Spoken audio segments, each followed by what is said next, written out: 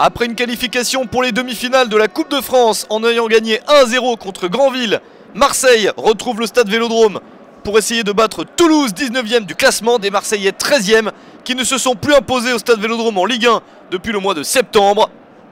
Une victoire sur les 6 derniers matchs pour des Marseillais privés de Koulou suspendu. Djadjedji et Ocampos sont blessés. Marseille est la première équipe à se mettre en action avec ce très bon mouvement collectif.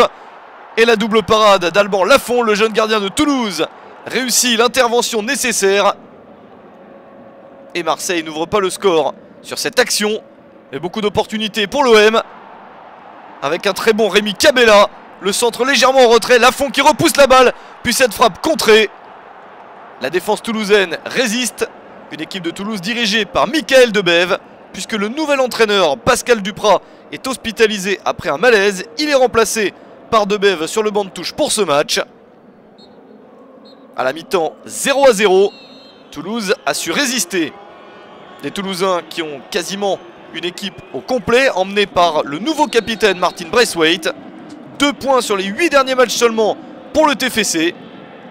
Souci à la mi-temps puisque Lassana Diarra a été remplacé par Abdelaziz Barada pour l'OM. Et Toulouse qui en seconde période montre un petit peu plus de velléité offensive. Le ballon pour Wissam Ben et l'ouverture du score pour Toulouse à la 55e minute. Dixième but de la saison pour Wissam Ben.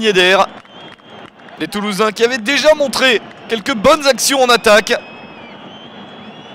Ici la défense de Marseille est prise de vitesse. Et Ben fait la différence. Toulouse mène à 1-0 au stade Vélodrome. Une nouvelle fois les Marseillais sont piégés devant leur public mais continuent à accélérer. Ils ont eu des occasions et continuent à s'en procurer.